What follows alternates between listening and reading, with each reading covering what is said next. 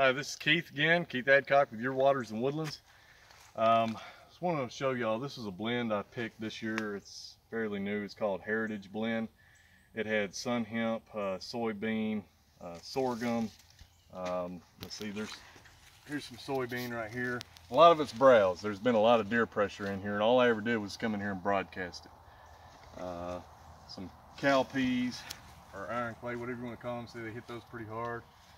Uh, all the pods are gone off of those. The soybean right here, zoom in here, it made some pods. So that'll be coming in, they'll, they'll hit that up. I don't really like to put feeders out. So there's my grain when it's cold. And they'll still have some greens off of this stuff. It's cool season grasses. What I'm broadcasting into this is your uh, rye grain and oats. So we got a rain coming and it'll take off. But you see, they've been browsing this. This is what deer did. And they're, I mean, they're pulling this stuff down and browsing it and they're just tearing it up. It, it was a lot thicker. And it's gone, you see the yellow flowers. So right here, once anything flowers, the nutritional value of it kind of drops. This is indeterminate, so it'll keep growing as long as we have sufficient sunlight and rain and warm temperatures. But you can see how tall it is. I mean, this stuff, you know, at first I was kind of questioning it, but you look and get down there on a deer level. There you go, right there. And then look up. I mean, this deer is going to cruise through this pinch point because it's only this small area. Like they've been cruising. They know there's food here. They feel secure. It's, it's linking those woods over there with these woods here. Both sides have been burned this year. I burned them back in February and you see in there all the vegetation that grew up. A lot of native vegetation. Um, so I'm just trying to rebuild this road. This is where the loggers were coming in and out. And um, I really don't want a road here. I don't need it. I, it's not a big property, 17 acres. I can do everything by hand and on foot. Get tools and whatnot on the four-wheeler as close as possible. But uh, I just want to keep a root structure in this soil and build this carbon back up in the soil and and I mean it's working perfect. My plan's working perfect. So this is going to be basically a pinch point. It's a man-made because I made it pinch point from those section of trees to this one but only right here. And I've got a stand up here and there's a ravine that drops down in there. So they're already cruising through here.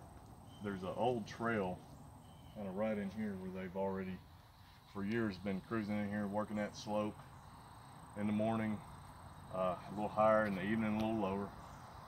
But it should get get me in the bow range and I'll put one of my boys in that stand. But this is doing perfect and it's also preventing it's going to eventually prevent erosion.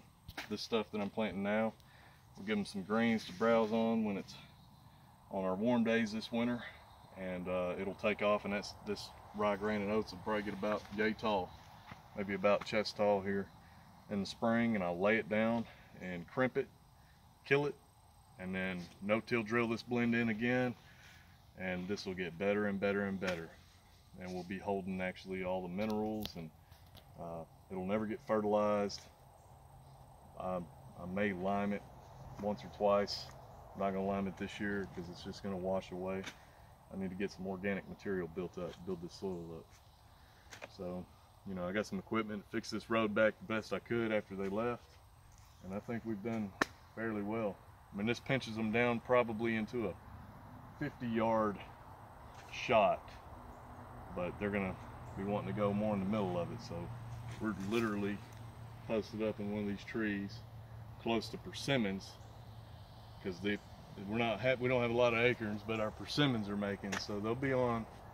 They'll be hitting those persimmons probably mid-November. They'll be dropping. So this this just will work perfect. There's bedding in there, layered bedding back in the back. So we have our does, then young bucks and bigger bucks. And uh, I've been hunting this for two years. It's my own personal property, 17 acres, and I, now I know exactly what they're doing. And I put two other stands back there. Maybe we'll catch a hunt on them. But this is just putting the deer into bow range for my sons that they're actually going to be hunting rifle. So we're going to finish broadcasting this in. Hopefully this rain comes. and this will continue to be a gold mine for deer. Anyway, if y'all have any questions or comments about this brand of blend that I put in, Heritage Blend, uh, just comment in the comments below and I'll be more than willing to tell you everything you need to know about what's in there and what it does, different things it does. Thank you. We'll see you next time. Hopefully we get a hunt in on camera this time.